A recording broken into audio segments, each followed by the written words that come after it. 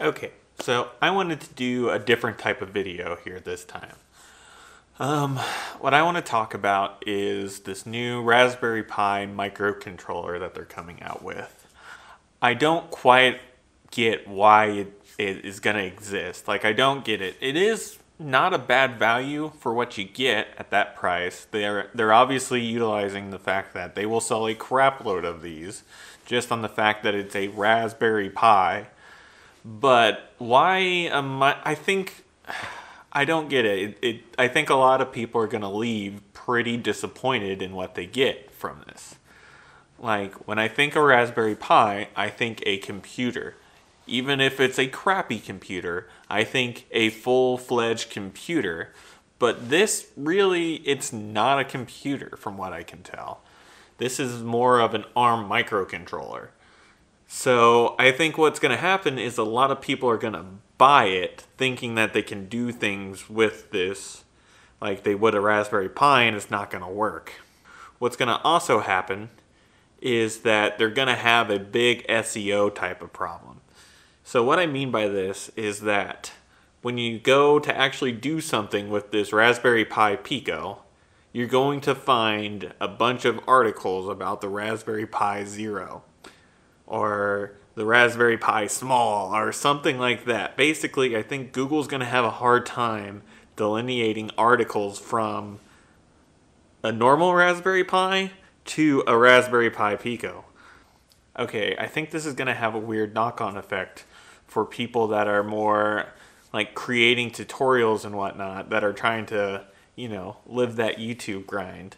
Like, why would I try to invest in the SEO. Like, I don't think you're going to get great SEO with this versus like having a t- versus having a tutorial with a normal Arduino. Like, if I have tutorial A that is controlling a relay with A, a Raspberry Pi Pico, or B, an Arduino, I think you're going to get better SEO doing the Arduino version versus doing this version.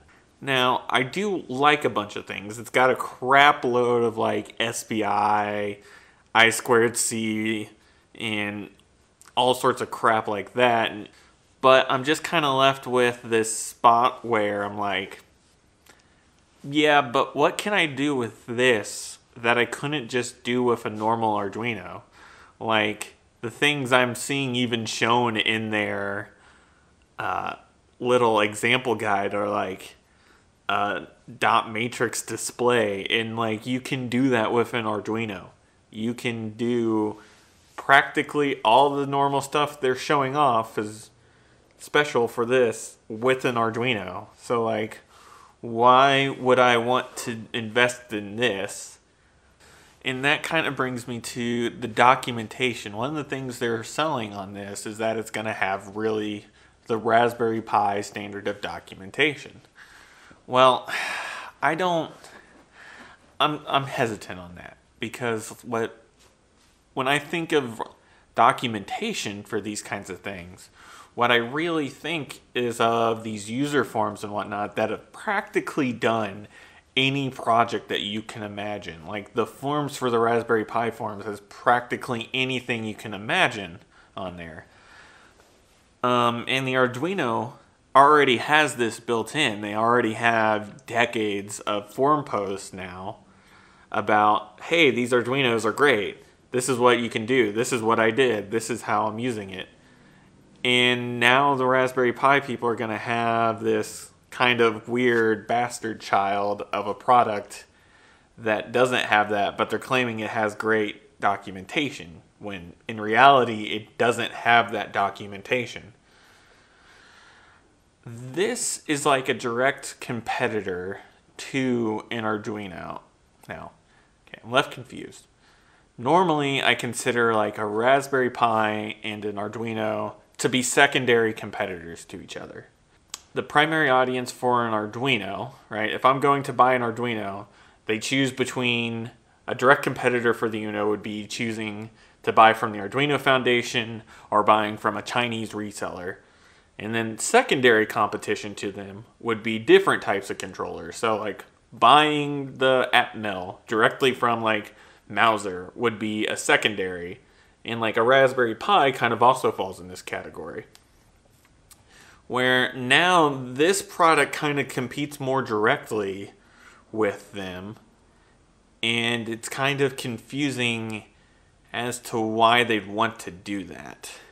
So, the final thing I wanted to kind of think about when I looked at this product is let's take a look to the past. So, what have we had in the past? Well, in the you've had Arduino, obviously.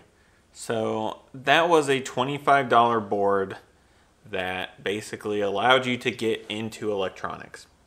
And then before that, you had the uh, basic stamp, or I believe it was a PIC basic stamp, which allows you to use basic on like a really cheap microcontroller. So I guess what I see here is the reason why Arduino basically superseded the PIC stamp.